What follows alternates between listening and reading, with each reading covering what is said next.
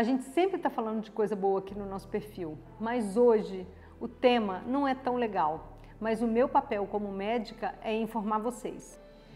Eu quero falar com vocês sobre a doença do silicone. A doença do silicone é uma doença autoimune que ela é gerada, iniciada a partir da colocação da prótese de silicone. Existem outras doenças autoimunes que também podem ser geradas a partir de uma entrada de um corpo estranho, como componentes de vacinas, como próteses dentárias. Isso chama adjuvante e isso faz com que o seu sistema imunológico seja acionado.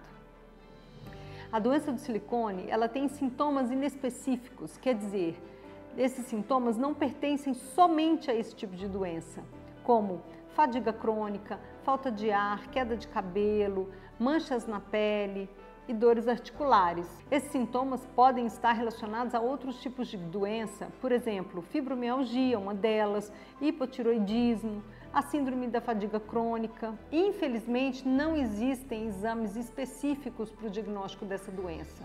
Então, o diagnóstico ele deve ser feito por exclusão. A gente tem que pensar em outras doenças antes, excluir a presença dessas doenças para só então pensar na doença do silicone. O acompanhamento e o diagnóstico é feito pelo reumatologista.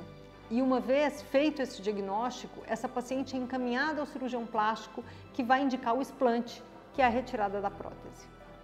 A retirada dessa prótese, sempre que possível, é feita com a remoção completa da cápsula, que é o que a gente chama de explante em bloco ou capsulectomia total. O que a gente observa é que algumas pacientes têm a remissão do problema, ele some completamente, mas outras pacientes têm uma remissão temporária. Isso quer dizer que ela vai ter uma melhora durante alguns meses e depois volta novamente com sintomas. O que caracteriza que esse caso não foi necessariamente iniciado pela prótese de silicone.